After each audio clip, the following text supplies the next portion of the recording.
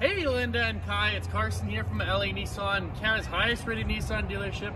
I just wanted to jump in front of the camera and show you a closer look to the gorgeous 2022 uh, Nissan Pathfinder uh, Platinum. It is fantastic. It has that full redesign that just looks fantastic in this gorgeous Scarlet Ember Red with the black roof as well.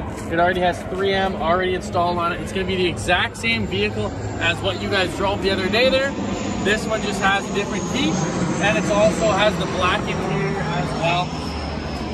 It's like super, super good with that red exterior and red or black interior and it's still gonna have your heated and cooled seats. Still gonna have the heads up display all of those features that you guys love. It's gonna be in this one as well. Only 32,000 kilometers on this vehicle. Super super low kilometers.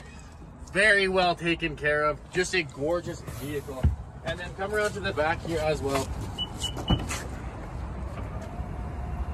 as you can see like it has the other mats here and those are in pristine condition as well. And then this seat does fold down just like the other one you guys drove there. It is identical to the vehicle. Just might be able to save you a little bit extra bucks on this one. Uh, but please let me know what you think of it so we can make it work for you. Thank you.